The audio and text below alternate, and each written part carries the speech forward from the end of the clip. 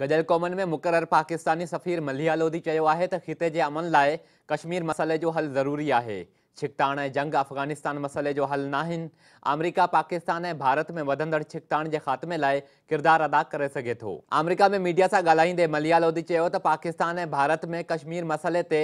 America की अहम हैसियत है माज़ी में अमरीका के पॉलिसियुनि में लाहन चाड़न सबब पाकिस्तान ए भारत जा लागापा खराब थे उन वलारल कश्मीर की सूरत हाल खराब है कश्मीर मसले जो हल ख़िते में अमल लाइ ज़रूरी है मलिया लोधी जो चवण हो तो अमरीका रुगो बिन्हीं मुल्क में वधंदड़ छिकटाण के घटाइण लाइ अॻियां न अचे पर पंहिंजो किरदारु अदा कंदे कें भी क़िस्म के वधंदड़ तकरार के ख़ात्मे लाइ भी किरदार अदा करे संदस चवण हो तो ॾखिण एशिया में दिलचस्पी न वन सबब पाक अमरिका लागापा मुतासिर थिया गॾु क़ौमुनि में पाकिस्तान जी मुस्तक़िल मेंबर मलियालोदी चयो त पाकिस्तान अफ़ग़ानिस्तान में ॻाल्हियुनि ज़रिए अमन जी बहाली चाहे थो छिकटाण ऐं जंग अफ़ग़ानिस्तान मसइले जो हल न आहिनि